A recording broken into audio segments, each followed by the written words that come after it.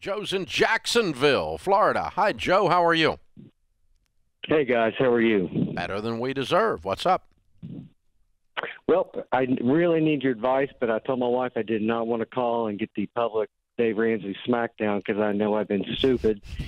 but I am a uh, step six repeat offender because I'm a real estate addict, and every time we do our quiet debt-free scream, I managed to go out and do stupid again and, and buy another real rental real estate property. But the question I have is we have a mortgage I want to eliminate on step six again. And how much or how do we best wisely calculate our emergency fund? How deep can I go? We have the ability to pay it off, but the emergency fund for our personal income is one question. But then I guess the real question is for the rental portfolio, how much of a capital reserve do we need? Yeah. Good for you. Well, your personal is three to six months of expenses. Um, on a business, and that's what a rental portfolio is, it's a business, you would have what we call retained earnings. And, um, you know, retained earnings would go for emergencies, uh, repairs, like for instance, a heating and air goes out or something like that. It would also, uh, you would also build and, and calculate your retained earnings if you're doing it well uh, for replacement of large items, like say you've got a roof uh, that's going to need to be replaced in five years, then you want to be setting aside a fifth of that roof each year so that it doesn't sneak up on you, you know. And so you, you we've got a you know we got a apartment complex that the parking lot's going to have to be redone, um, and you know that's a, a hundred thousand dollar expense or whatever it is, right? And uh, we got three years to do that, though, so we're going to put thirty-three thousand aside for three years. You know that kind of a thing. So you would systematically build into your major repairs to keep you from having, uh, you know, something quote unquote sneak up on you that shouldn't really sneak up on you. Uh, and then the second thing you would hold is just retained earnings for the totally unexpected. Uh, but how many houses have you got now? We have uh, 19 and um, about 23 different units within that. Yeah. Have you got a pre? How, how long you been doing this?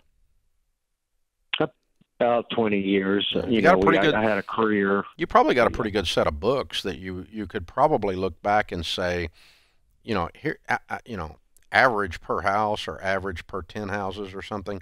Uh, here's what my unexpected repairs are: water heaters and heat and air. Um, you know, whatever else. And you know, you've got replacement, carpet replacement, paint replacement on turnover. That's standard tenant stuff, right? Um, not not every time you turn them over, but every every two or three times you turn them over, you're going to have to go through and hit that inside pretty hard. We do anyway, uh, and so on. You're probably used to doing all that. I would say your P and Ls, if you look back through them, would inform your uh, retained earnings pretty accurately. Uh, and in combination with that, I would look forward and say, what are known replacements and repairs that are large that I've got coming in the next five to 10 years, three to 10 years, and, you know, or whatever. And let's add that in there too. And somewhere in there is going to give you a real common sense number on the retained earnings. Okay. Our, our consistent experience has been about 50% of the gross revenue goes to manage and retain the business. Yeah. And then we cash flow about 50%. Yeah, that sounds, that doesn't sound unusual. Um, So if we if we cash flow Depend, depend on the age of the properties. That that you know, if it's a newer property, it shouldn't be that high. But um, you know, if these are ten year old, fifteen year old properties, you probably are seeing that because your heating and air starts. So should we should, should we um keep retain a full year's worth of expenses in, in reserve then? No, it takes six six months. Okay. You know, uh, Great. because you've not you've not had any cash flow. You're managing your cash already. Um, you know, you're joking around about you continue to go back into debt. That's a different issue. But you're already managing your cash. You've been doing this too long. You got too many properties. If you were doing it poorly, it would already knocked you off the saddle. Yeah, I did. I want to knock out this last mortgage. I just didn't know how aggressive I Yeah. could be with my reserves. Well, I mean, obviously, it's kind of like your personal. If you take it down to to a thousand dollars and you pay off your house, heat and air will go out the next day. You know, so you don't you don't want to invite Murphy to the party.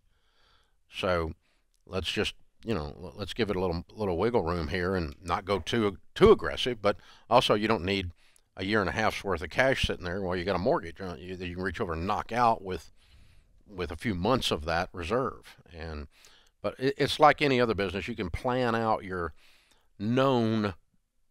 You, you get a rhythm of the emergencies once you've got enough volume like you've got. If you had two houses, yeah. it's harder to do.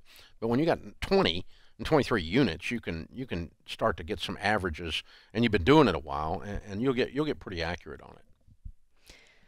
So real estate for me is it's a fascinating topic. I feel like even right now in our world, not just with the housing prices being up, but this is more. I mean, I feel like more than ever hearing people trying to get in to real estate investing mm-hmm. and it being part of their world. I mean, it's it feels like it's everywhere, and obviously, uh, you know, Joe's been doing this for a long time, but. Do you feel like there's been a resurgence, like a surge of that too, versus ten years ago? Yeah, there was a really last spring we talked about it a lot. There was a real move, and you could feel it in social media, and you could feel it with Gen Z.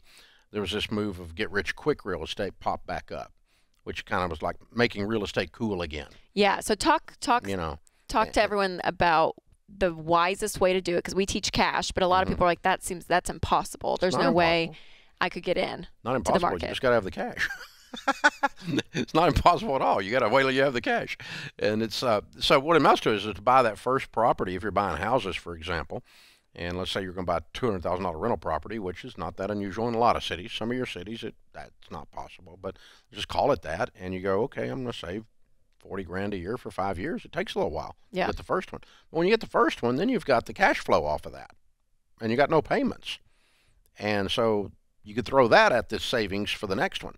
And by the time you've got three or four, uh, pretty quickly you can buy a house a year off of the income from the houses, you know, uh, that kind of a thing. So it snowballs in a good way.